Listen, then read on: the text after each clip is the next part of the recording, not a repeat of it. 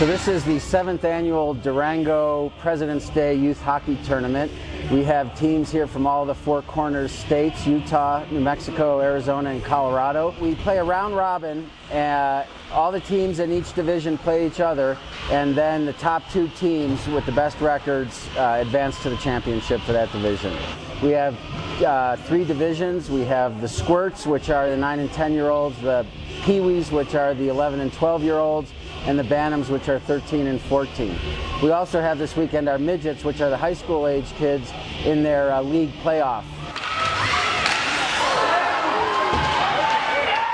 We have a total of 14 teams in the tournament, including Durango, three, three Durango teams. We have games all day Saturday, all day Sunday from 7 a.m. till midnight. And then the, uh, on Monday, we'll have the uh, final games as well as the championships in all three divisions. The uh, championship games start at 9.30, 10.45, and noon.